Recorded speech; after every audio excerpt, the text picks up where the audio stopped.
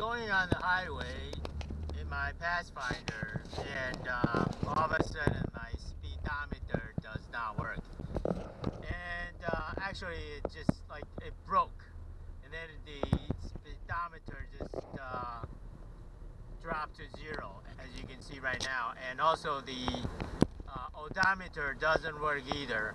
Um, it uh, stay at uh, 161.9 not even moving at all. And um, you can see, so both the speedometer and the odometer are not working right now.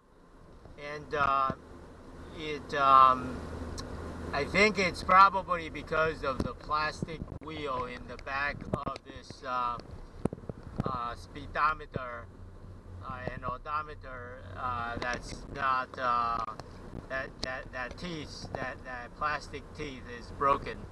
That's why these guys uh, don't move, uh, stop working. But then there's a good possibility that, um, what do you call that? Uh, it's the uh, speed sensor that's in my uh, uh, transfer case that's broken. And that speed sensor is a good couple hundred dollars, so it's pretty expensive. So the first thing I want to troubleshoot is I want to take this uh, panel apart, this uh, Pathfinder um, instrument uh, panel apart and see if uh, the plastic piece, the gear is broken.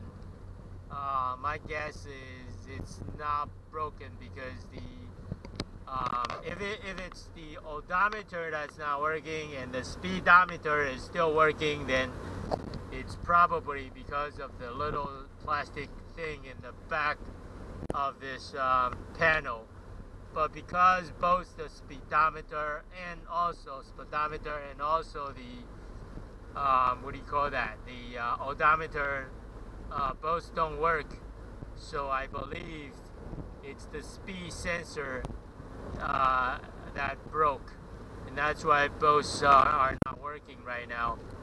But in any case I need to uh, fix it.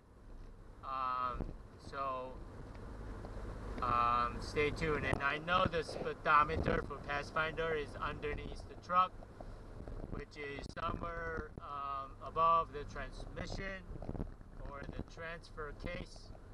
It's underneath the truck so it's kind of uh, difficult, so I have to somehow loosen a few uh, big bolts, uh, bolts and nuts in order to be able to um, get to it. So stay tuned and uh, see how I fix the uh, speedometer and odometer.